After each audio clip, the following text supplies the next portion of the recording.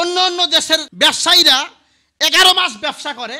রমজান মাস আসলে রমজানের খাতিরে, রহমতের মাস, বরকতের মাস, জিনিসপত্র, নিত্য প্রয়োজনীয় যেগুলো আছে এগুলোর দাম একেবারে কমিয়ে দেয়। আর আমার দেশের সুরেরা এগারো মাস করে চুরি রমজান মাস আসলে রমজান মাসে করে ডাকাতি। সামনে আসতেছে রমজান। দেখবেন, রমজান আসলে আমাদের দেশের কিছু সুর আছে। নিত্য প্রয়োজনীয় যেগুলো আছে চাউল, ডাউল, আদা, পেঁয়াজ, রসুন ইত্যাদি দাম একেবারে দ্বিগুণ বাড়িয়ে দেয়। অন্য অন্য দেশের ব্যবসায়ীরা এগারো মাস ব্যবসা করে, রমজান মাস আসলে রমজানের খাতিরে, রহমতের মাস, বরকতের মাস, জিনিসপত্র, নিত্য প্রয়োজনীয় যেগুলো আছে, এগুলোর দাম একেবারে কমিয়ে দেয়। আর আমার দেশের সুরেরা এগারো মাস করে সুরি, রমজান মাস আসলে রমজান মাসে করে ডাকাতি।